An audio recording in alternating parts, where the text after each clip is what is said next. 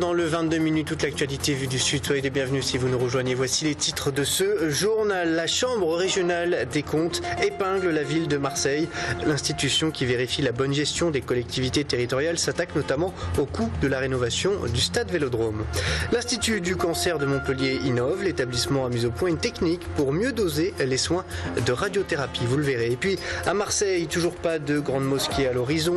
Du coup, euh, pour faire face à la pénurie des lieux de culte, les fidèles s'organisent pour mieux financer eux-mêmes certains projets.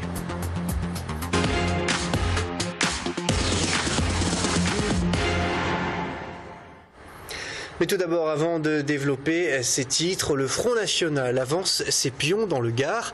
Une rumeur a circulé aujourd'hui comme quoi Gilbert Collard pourrait se présenter à Nîmes.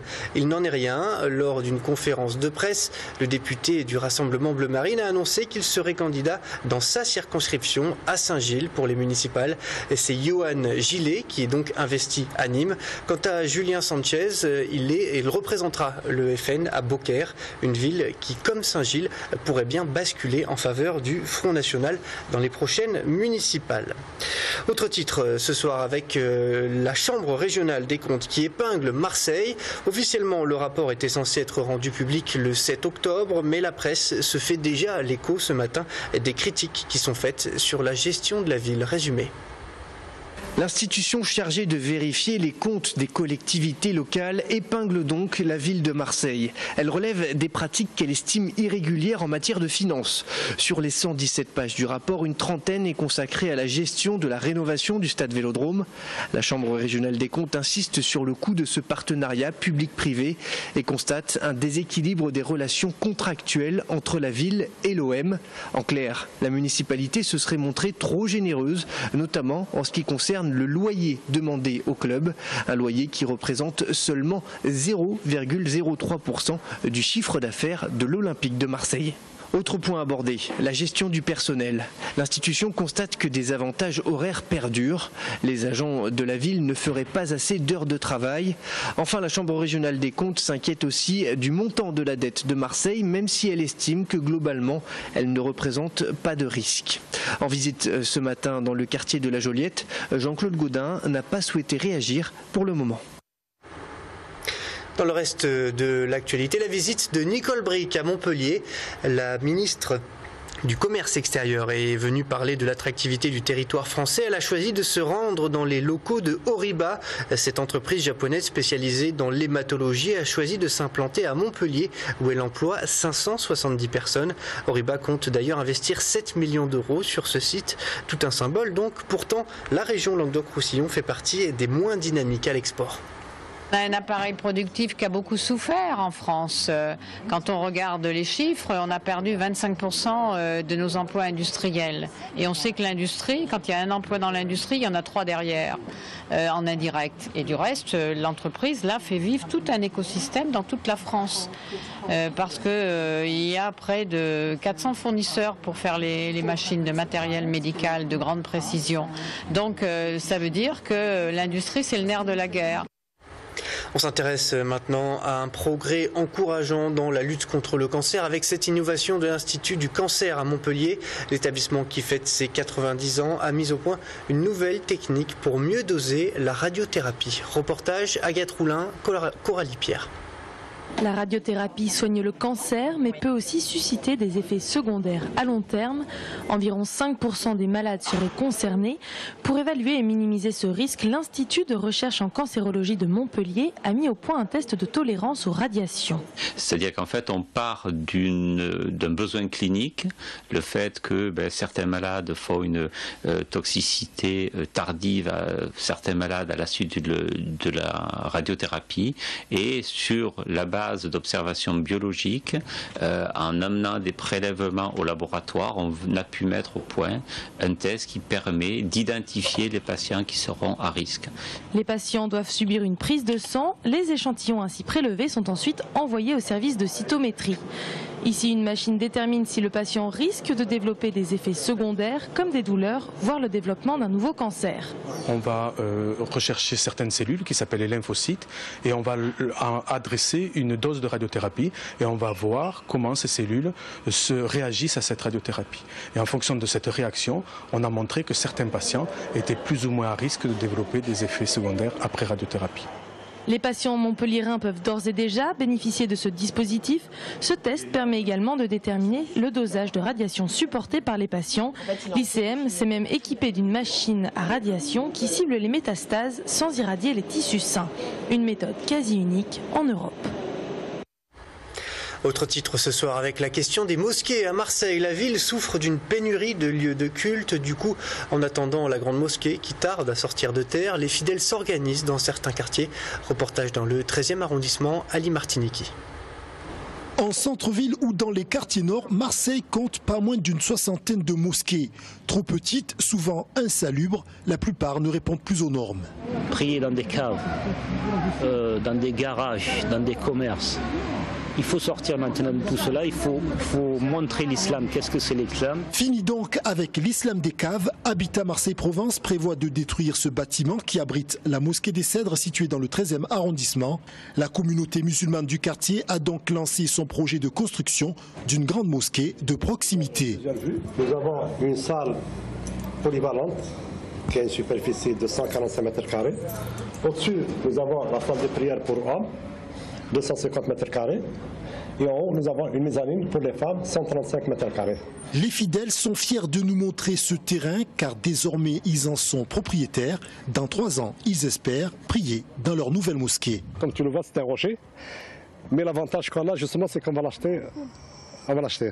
on ne va pas le prendre sous forme de bain amphithéotique. On est obligé de faire un mur de soutènement et le déblaiement justement. Donc c'est notre charge, c'est la raison pour laquelle on a pris ce forme d'achat. L'objectif c'est de construire une mosquée qui doit tout le monde. un, dossier qui est quand même euh, intéressant parce qu'il est indépendant financièrement. Il ne sera financé que par les fidèles marseillais. Le recteur de la mosquée s'attache à ne pas avoir d'argent ni des collectivités euh, ni des pays étrangers. Et puis c'est une manière de dire que voilà, aujourd'hui il y a des projets à Marseille qui sont en train de naître. On est en train de sortir de l'islam des caves. Ça va prendre beaucoup de temps parce qu'on n'a pas forcément les moyens de, de nos ambitions. Une initiative ambitieuse, plus d'un million d'euros sont nécessaires. Deux projets similaires sont à l'étude dans le 14e et le 15e arrondissement. Direction Paris à présent, Paris, où au moins trois personnes ont été tuées et une autre grièvement blessée dans une explosion vraisemblablement accidentelle. Ça s'est produit vers 16h cet après-midi dans un garage situé au sous-sol d'un immeuble dans le centre-ville de la capitale.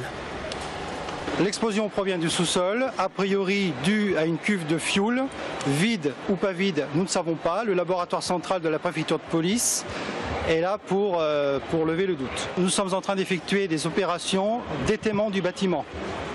L'architecte de la préfecture de police de Paris est présent pour euh, voir l'état du bâtiment. Quand nous sommes arrivés, il y avait euh, pas mal d'odeur de fioul et un relevé exposimétrique, exposimétrique pardon, qui était positif. Donc l'ensemble du bâtiment a été évacué. Tout de suite le reste de l'actualité en bref, préparé par Sevgi Altuntas. Recherches ont repris aujourd'hui à Clermont-Ferrand en présence du beau-père pour retrouver le corps de Fiona. Les fouilles ont été élargies autour du lac d'Aïda dans le Puy-de-Dôme. Hier soir, Cécile Bourgeon, mère de la fillette, et son compagnon Berkan Maklouf ont été mis en examen et écroués. Après quatre mois de mensonges, les deux suspects ont avoué avoir enterré la fillette de 5 ans. Six hommes ont été arrêtés ce matin en région parisienne. Ils sont suspectés d'avoir participé au vol d'or à l'aéroport de Roissy-Charles de Gaulle. La semaine dernière, une cinquantaine de kilos de lingots d'or ont été dévalisés dans un avion de la compagnie Air France. La valeur du vol est estimée à 1,6 million d'euros. Parmi les six suspects, au moins un est un salarié de Swissport, un sous-traitant d'Air France pour le chargement des soutes procédure de sanction engagée contre Google pour non-respect de confidentialité. Selon la Commission nationale de l'informatique et des libertés, l'utilisation des données de ses utilisateurs par Google n'est pas conforme à la loi française. La CNIL avait donné trois mois à la société américaine pour se mettre en conformité concernant sa politique de confidentialité. Faute de réponse, Google risque 150 000 euros d'amende. L'économie française connaît une belle embellie. Selon l'INSEE, le produit intérieur brut de la France a enregistré un rebond de 0,5% au deuxième trimestre. L'économie française serait bien en train de sortir de la récession. Nouvelle hausse également de la consommation des ménages en août de 0,4%. Tout comme les dépenses publiques de 0,7%, ces derniers sont les principaux moteurs de la croissance au printemps. Cette information, en bref, euh, à présent, euh, le groupe islamiste nigérian Ansarou a diffusé une vidéo de l'otage français Francis Colomb. Cet ingénieur de 63 ans qui vit à La Réunion a été enlevé le 19 décembre au nord du Nigeria lors de l'attaque de sa résidence par une trentaine d'hommes armés. Sur cette vidéo postée sur Internet, Francis Colomb lit une déclaration. On ne sait euh, pour l'instant pas de quand date cette vidéo. On passe euh, à l'actualité internationale avec le monde en 120 secondes.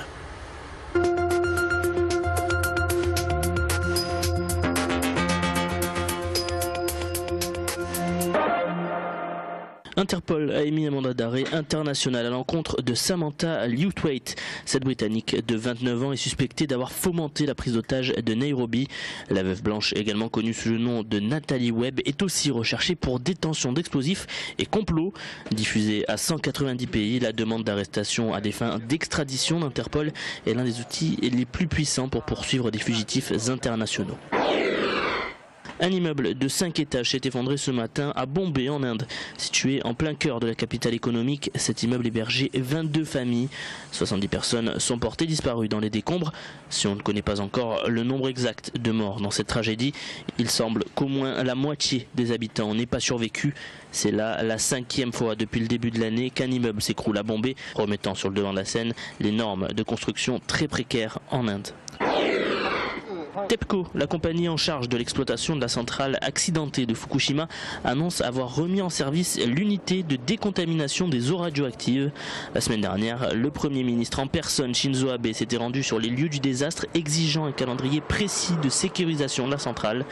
Le désastre écologique qui découle de cette catastrophe est aujourd'hui reproché au Japon par l'ensemble des pays voisins. Le verdict est sans appel. L'homme est bien coupable du réchauffement climatique selon le groupe interventionnel d'experts sur l'évolution du climat. Selon le rapport dévoilé ce matin, la température pourrait augmenter de près de 4,8 degrés d'ici 2100 si rien n'était fait pour enrayer le processus. Un réchauffement qui entraînerait entre autres des changements radicaux du climat à travers le monde ainsi que des désastres météorologiques de forte ampleur. Restez avec nous dans un instant, nous parlerons de sport et notamment du choc entre le MHR et le stade français. Le MHR qui s'est incliné 18 à 14 à Paris. Mais tout d'abord, notre séquence rec de l'image, rien que de l'image, sans commentaire. On est fan Thank you very much. Thank you very much. Merci. Merci Nicolas. Merci bien. Merci beaucoup. Nice vous adore. Merci. On vous aime. Bonjour. Revenez. Monsieur. Monsieur, président. Pour le peuple, pour la jeunesse, revenez. Nicolas, reviens. Merci beaucoup. Revenez, revenez vite,